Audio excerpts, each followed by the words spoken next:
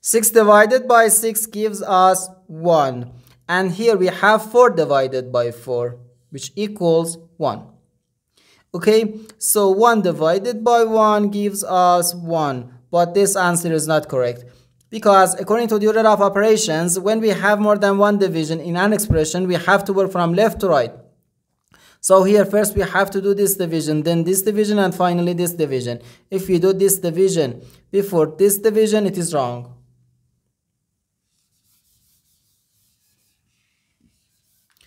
So first this division.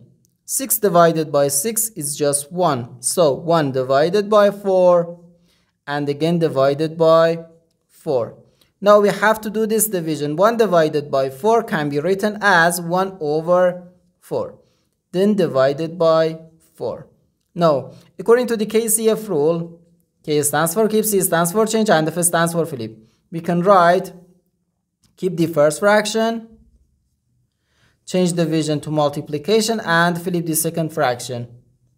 So we have 1 over 4 times 1 over 4 which equals 1 times 1 gives us 1 so 1 over 4 times 4 which equals 16.